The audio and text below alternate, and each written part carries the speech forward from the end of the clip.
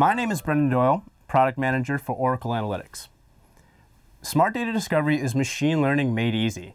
It's a data-driven guidance that puts machine learning in the hands of your decision makers. It's providing them an automatic, unbiased, and in-depth attribute explanations that act as a launchpad for further analysis and discovery of your own data. Our goal is to answer the question of what are the key insights from full-time results within a soccer game. But we're faced with a daunting empty blank canvas. So how do we say goodbye to empty canvas syndrome once and for all? What if I was to tell you we're just one click away? You're just one click away from your key data. You're just one click away from your key drivers. You're one click away from the most important segments that make up your data. And you're just one click away from the anomalies within your data. Put smart data discovery to work with one click. By right-clicking FT results and then selecting Explain FT results, we are taken to the Explain feature within Smart Data Discovery.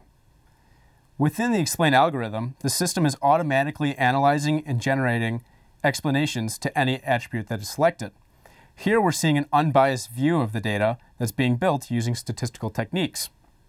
With another click, we discover that halftime results, as well as playing at home or away, have a major driving impact on a team's chances of winning a match.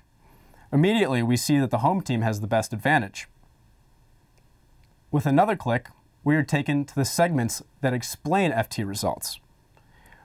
We are seeing six segments or groups of data that predict the outcome of full-time results.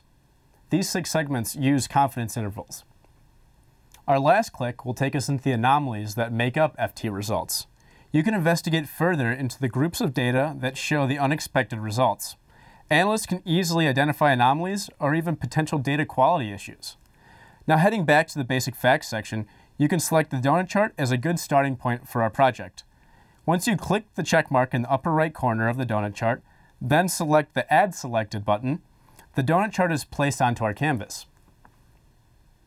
While we only chose one visualization, being the donut chart, you can select as many as you'd like from the Explain feature. This will create a much richer canvas for yourself. Now to tie things up, I want you to learn more by going to oracle.com analytics. Here you'll find our Oracle Analytics roadmap to learn about all the great features within our product. Thank you.